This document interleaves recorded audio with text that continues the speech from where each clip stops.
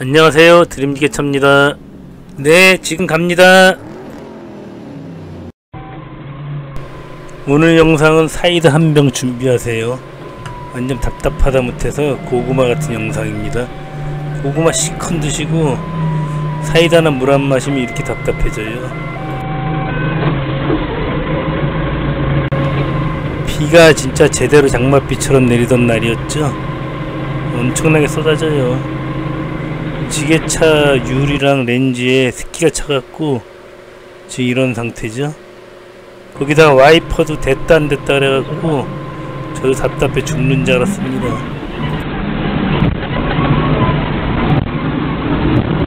저만 답답하면 이제 억울해갖고 이제 우리 구독자분이나 유튜브 이제 구 시청하시는 분들 같이 답답해 보시라고 제가 또 이런 동영상을 준비했지 않습니까?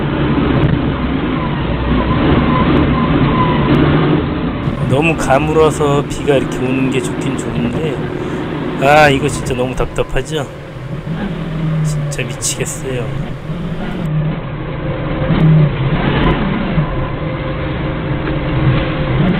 비는 진짜 무지하게 내렸습니다 이날. 이날 그저 밤에도 내리고 아침부터 계속 비가 오고 있어갖고 일이 없을 줄 알았어요. 그래서 이제 쉬, 편히 쉬면서 동영상 편집이나 할까 했는데 아 오늘따라 왜 이렇게 바쁜 건지. 지금 이 동영상의 이 정도 시야가 실제보다 조금 좀 덜 보이는 편이긴 하지만 실제도 진짜 보기 힘들었어요. 지금 이제 빨리 달리는 건 아니에요. 지금 4배속으로 동영상을 돌리고 있는 중인데 보통 여기 한 12분 걸리는 거리였는데 한 20 몇 분 걸리더라고요. 그 천천히 간 거죠 뭐.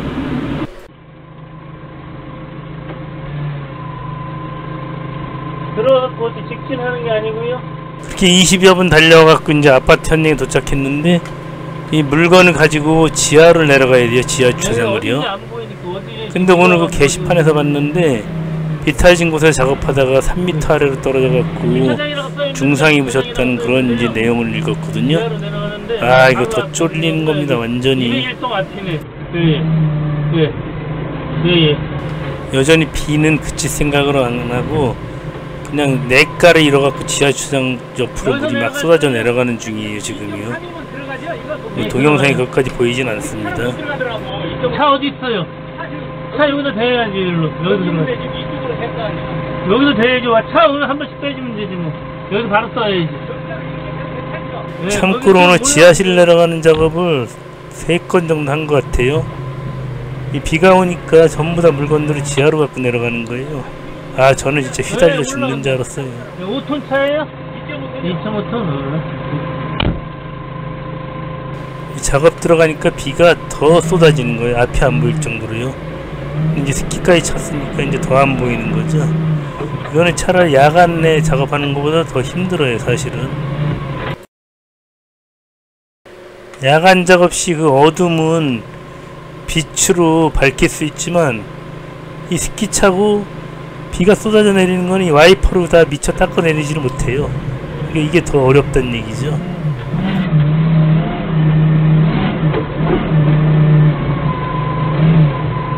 내려가는 것을 보니까 경사도 아주 극적합니다. 거기다 S자형으로 돼 있어갖고 잘못 내려가면 한쪽으로 기울 수도 있고 아 이거 물건이나 좀 낮은 파레트였으면 좋겠습니다.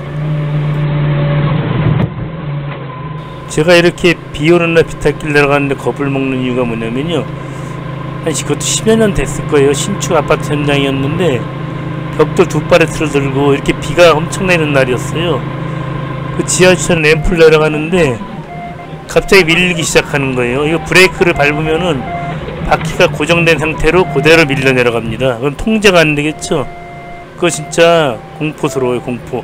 내려가다가, 어느 정도 내려가다가 한 10여 미터 미끄러져 내려가면서 그 벽에 이제 부딪히면 섰는데 야 그거 진짜 무서운 일이죠. 오늘도 물건은 이제 세 파레트 밖에 안 되고 또 낮은 파레트이기 때문에 어려운 짐이 아니에요. 근데 지금 워낙 악천후 속에다가 또 잘 보이지는 않고 그리고 또 미끄럽고 하니까 참 걱정입니다 내려가기가. 네. 못 깨질지 모른다고 이게 약간 약간 들어가지고 뒤로 좀 해가지고 뭐요? 약간 떠서 뒤로 움직여가지고 아, 앞짐하고 부딪히지 않게 지금 약간 오른쪽으로 이동시켜서 들어달라고 그러시는데 그야 뭐 그냥 기본 아니겠습니까? 저는 지금 그게 중요하지가 않아요. 요걸 어떻게 무사히 미끄러지지 않고 내려갈 수 있을 것인가 이제 그게 제일 지금 저한테는 관심사입니다.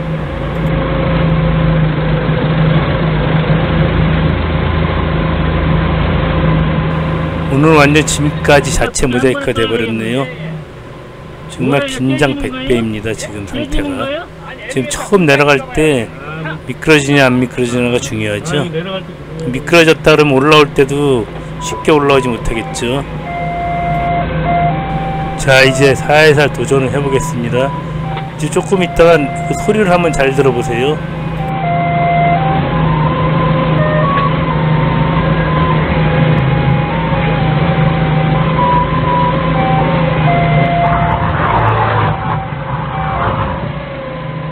방금 소리 들으셨나요?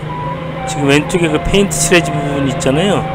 그 부분에서 그렇게 미끄러워갖고 이 바퀴가 그냥 미끄러져 내려가 버린 거예요. 제가 이제 후진할 때는 후진 기어를 넣고 브레이크를 살살 밟으면서 내려가잖아요. 천천히 이동하기 위해서.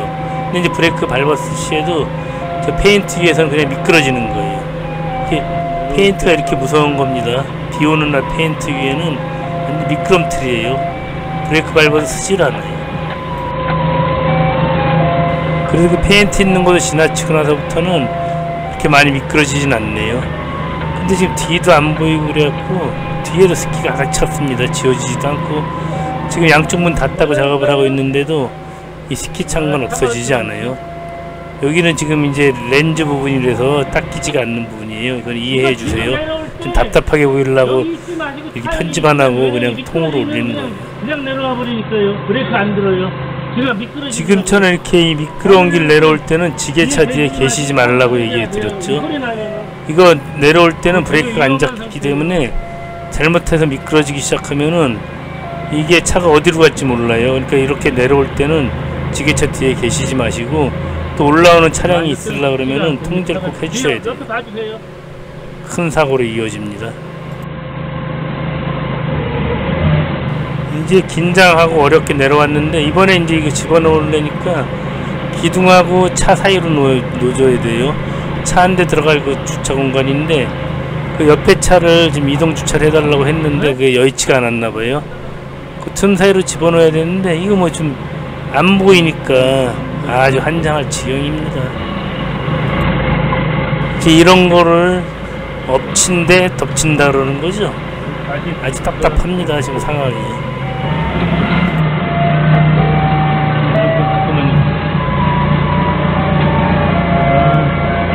지금 발뼈 후진하는 뒤에는 또 화물차가 이중 주차돼 있어요. 그 뒤로 빠지는 것도 녹록치가 않습니다. 조금 나와갖고 발만 빠지면 바로 또 회전을 해야 되는 상황이거든요.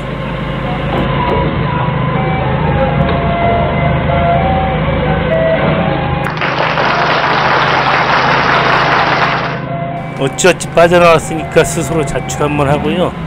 이제 올라갈 때는 전진으로 올라가면은 저기 절대 못 올라갑니다. 전진으로 올라갔다가는 그 미끄러지는 데서 멈춰서 또 다시 거꾸로 내려와야 되잖아요.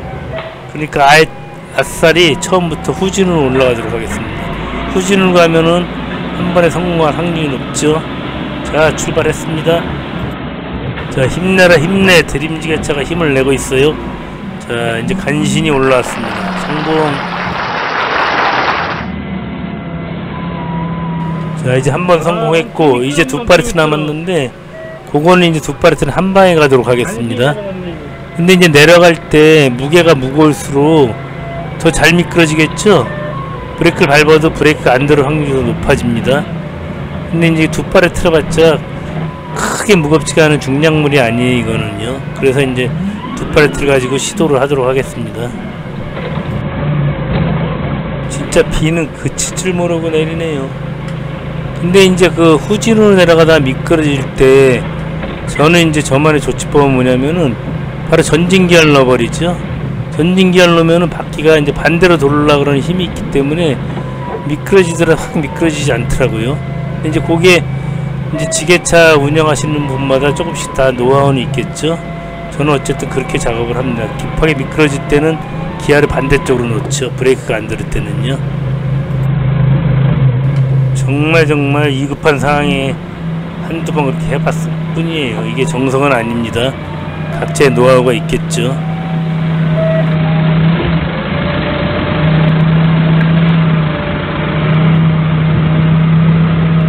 이제 두 개를 갖고 내려가야 되는데 미끄러지는 곳은 아까 그 페인트 부분 통과할 때죠. 그 부분만 통과하게 되면 그 다음에 이제 잘 내려가지니까요. 일단 이게 조금 더 무거우니까 최대한 뭐 할 수 있는 데까지 해봐야죠. 지게발을 더 깊게 넣고 살그머니 한번 내려가 보도록 하겠습니다. 자, 자, 여기서 답답하니까 사이다 한 모금 일단 들이키세요. 쭉. 답답함이 확 가시도록요. 사이다 하나 또는 물을 한 컵 드시기 바랍니다.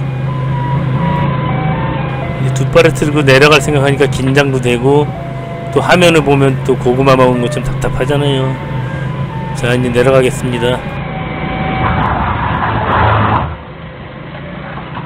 역시나 미끄러지는 소리 들으셨죠? 아, 저, 저기 왜 페인트 왜 칠해놨을까요? 뭐 이유가 있겠지만, 이렇게 미끄러질 수 있다는 거. 물론 저 페인트와 비슷한 그 지하실 바닥에 에폭시 같은 데도요, 엄청 미끄러워요. 물기에 젖었다 그러면은 차가 뱅글뱅글 돕니다. 물기에 타이어가 젖었을 때는, 또는 노면에 물기가 있을 때는 정말 서행 운전을 하셔야 돼요.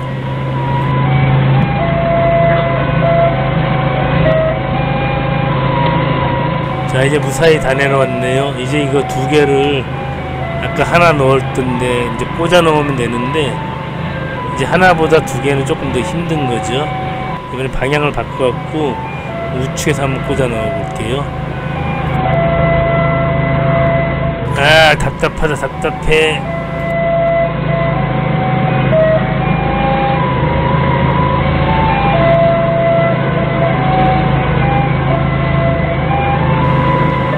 시륵 같은 어둠 밤이면 훨씬 낫다 그랬죠. 지금 불을 밝혀도 이 습기가 차고 또 땅이 젖어갖고 미끄럽고 아주 답답한 상황이죠.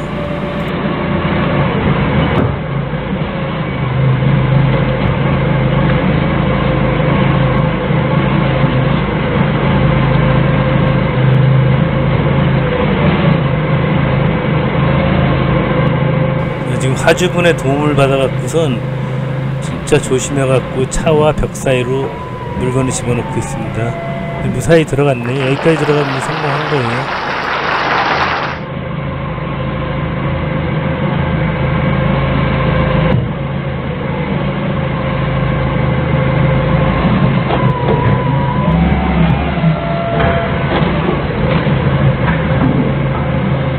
이 물건들은 비가 그친 후에 다시 지상으로 가지고 갈 거예요. 빨리 비만 그치기 바라겠습니다. 이제 그때는 이제 비가 그치고 나서는 노면이 말라 있으면은 전진으로 올라가도 충분하겠죠. 자, 오늘 보셨죠? 빗길에 이 비탈진 길은 정말 위험한 거예요. 그리고 이제 페인트 칠해진 곳이나 이런 에폭시 칠해진 주차장 같은 곳은 완전 빙판 길입니다. 빙판에 스케이트 타는 거랑 똑같아요. 휙휙 돌아갑니다. 회전할 때도 살그머니 해야지 좀 빨리 하면은 뭐 360도 도는 거는 일도 아니에요. 자 이제 마지막까지 안전하게 후진으로 올라가서 지상으로 가겠도록 하겠습니다. 오늘들 고생들 하셨습니다. 장마철에 계속 고생하실 텐데 일단 뭐 그래 어떻게 하겠습니까? 답답하신 분들은 사이다 한 병씩 드시고 다시 또 출발하도록 하겠습니다. 감사합니다.